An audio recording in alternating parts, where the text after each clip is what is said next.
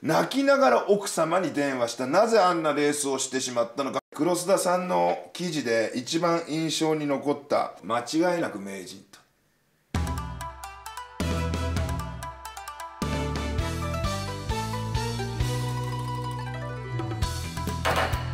春風亭一同のボートボーイ一人買い、今回特集をするのが私もねこの選手は本当に好きな方が多いんじゃないかなと思います。えー、三重支部の井口義則選手ということでございまして、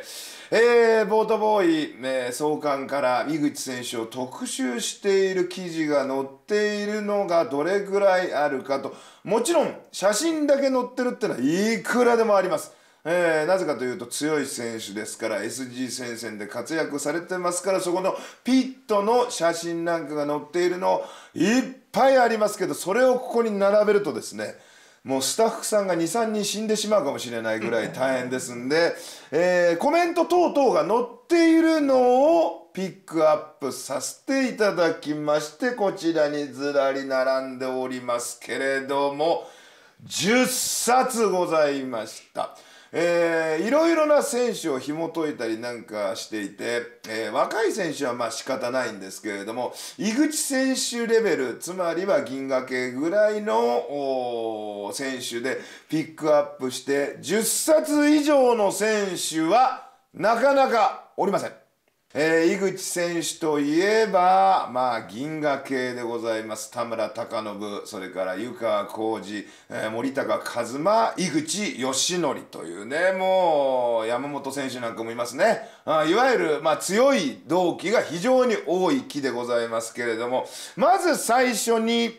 取り上げられたのが、こちらです。えー、2005年の11月号なんですけれども、えー、この年はですね、えー、地元津で、えー、SG のダービーが開催されていて地元唯一参戦したのが井口選手というねまあ今ね井口選手のそれこそ弟子で新田選手とか、まあ、強い選手は数々おりますけれどもいわゆるうん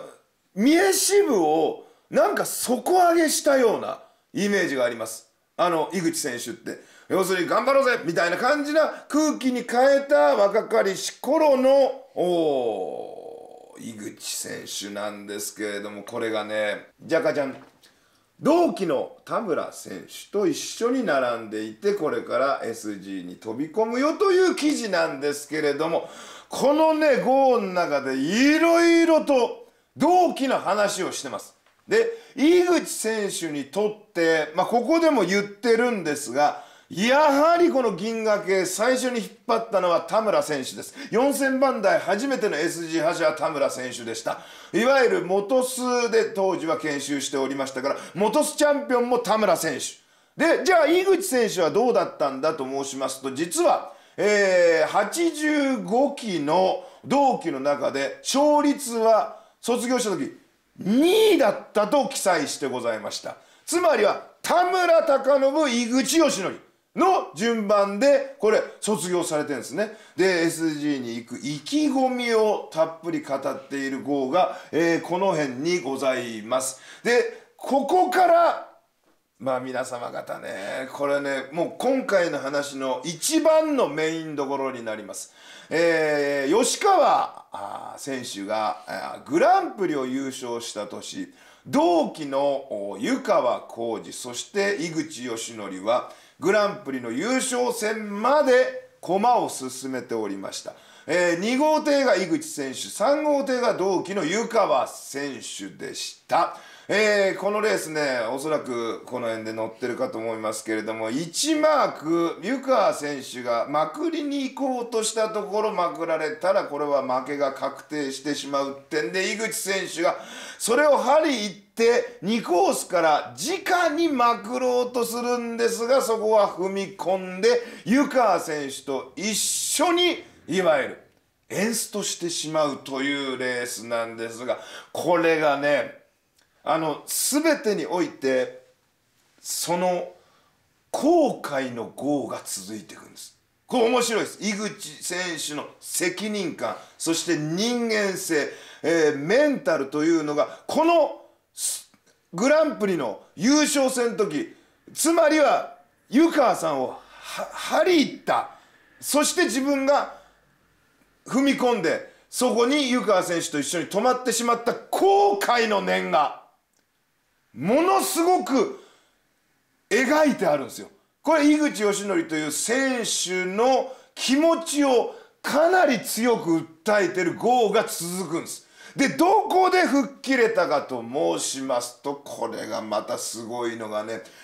吉川選手のグランプリ優勝の翌年に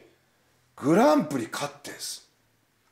これが面白いで、えー、それがね記載されてるのがこの号なんでございますけれども、えー、2009年の2月号でたっぷりと特集されております。えー、でねこれがねもう人柄なんでしょうね井口選手という方の。要するにこの号から後悔の念が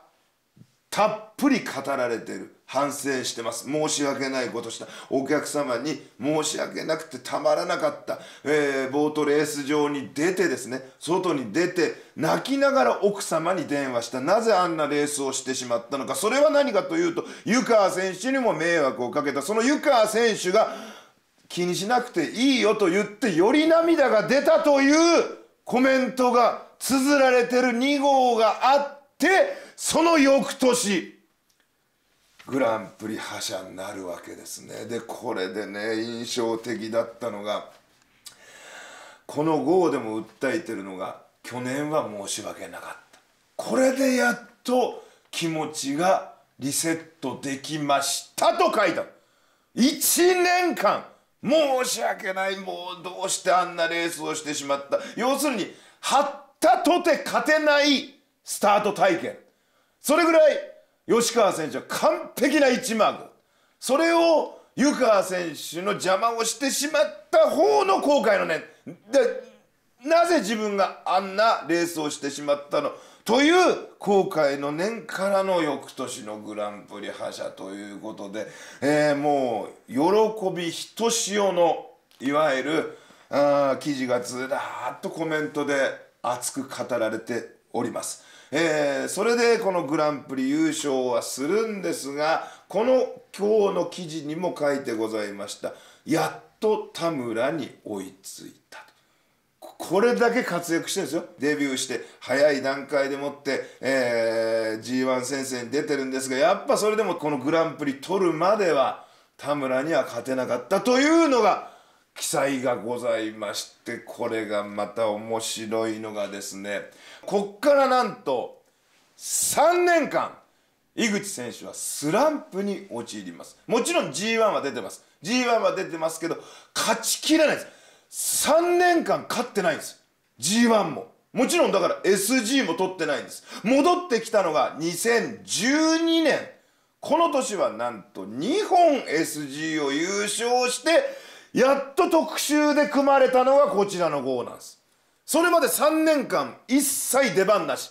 で戻ってきた2012年 SG で勝ち始めた2012年戻完全に戻した井口選手でね2013年の12月号で特集をされるわけです。えー、だからねずっと強いイメージはありましたけれどもこの号で紹介されているというのがえー、スランプだった時の話をしてるんですね。井口選手が。であれを味わったらこれ面白い言葉であれを味わったらもう怖いものは何もないって言った。もう俺にはもう怖いもの何もない。でというのが対処できると。なぜスランプだったか自分で分かると書いてあるんです。